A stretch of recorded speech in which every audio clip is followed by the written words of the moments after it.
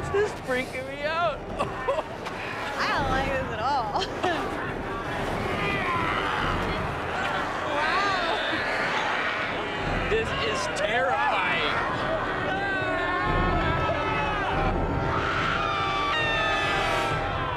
Well, they asked for a zombie horde. Now, some ground rules. Welcome, Zombie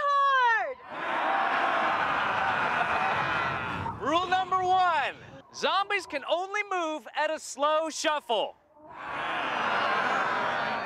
Rule number two your brains are infected, so you have no rational thought. Rule number three. This is your target. brains. Let the brains begin! With a code of conduct established for consistent data, I don't want to do this anymore. the animated deceased disperse randomly over the experimental space. A field of play 100 yards long and 55 yards wide that our humans have to cross while keeping their brains intact.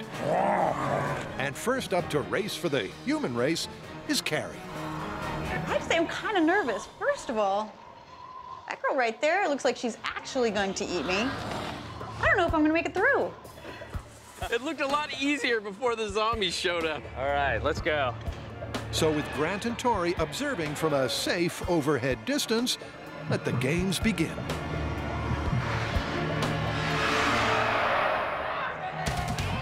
Oh, there she goes. At the heart of this brain game are the numbers. It's one human versus a zombie horde of 150. Oh my god, that is terrifying!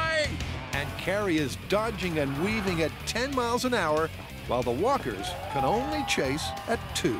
She's looking good. She's, gonna make it. great. Ah! No way. Yeah, she's gonna make it. Come on, come on. Oh! And those numbers Yeah! add up to Kari's survival. Yeah! You do run faster when zombies are chasing you.